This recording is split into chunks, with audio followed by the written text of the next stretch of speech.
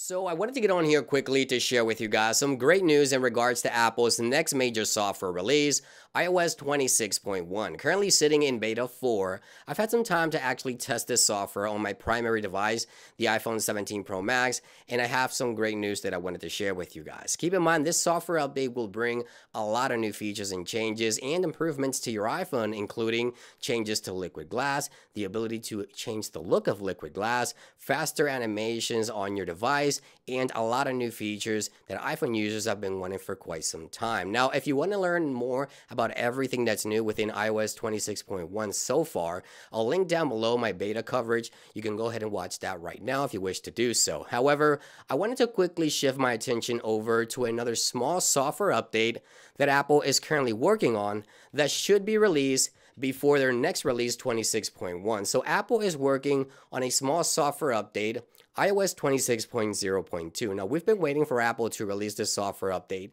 since last week. Now, MacRumors has confirmed that iPhones running iOS 26.0.2 has been visiting their website for nearly a week now, perhaps even more than a week at this point. They did mention last week that they expect this software update to release late this week. So it is Thursday the 23rd. I'm expecting this software to release as early as tomorrow on the 24th. I'll keep you guys posted the minute this software becomes available.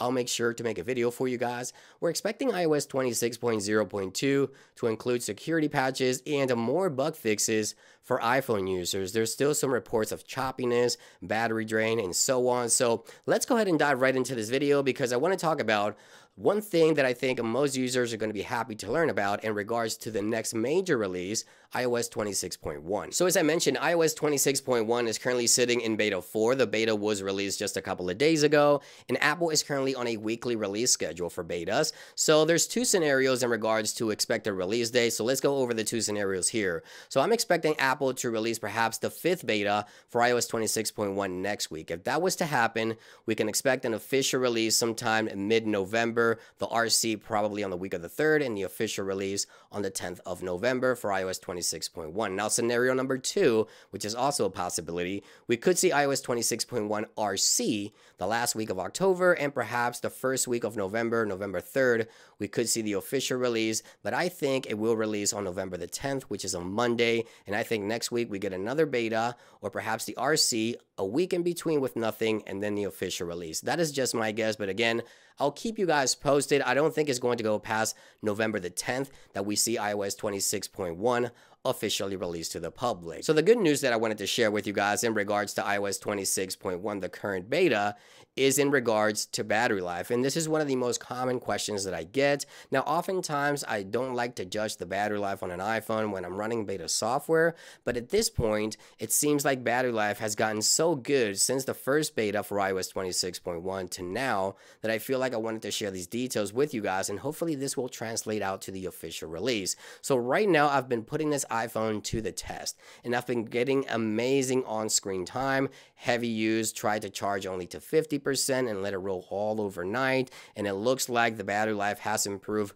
quite dramatically since the initial release of iOS 26. So far with Beta 4, I have to say this has been the greatest battery life experience so far in iOS 26 with the latest beta 4. And again, I wanted to put this video out to talk about the battery because I know a lot of users will most likely update to iOS 26 and one of the main concerns is going to be battery life. So, so far with beta 4, the great news here is that battery life has been the best out of all the software releases and all the betas for iOS 26. So I'm happy to report that. So stay tuned here to the channel again. We're expecting iOS 26.0.2, the next minor update in order to address more security issues and bugs on the iPhone. And then after that, perhaps mid to late November, we can expect iOS 26.1 as the next major release. There you guys have it, just a quick update. Thank you for watching, and I'll see you guys on the next one.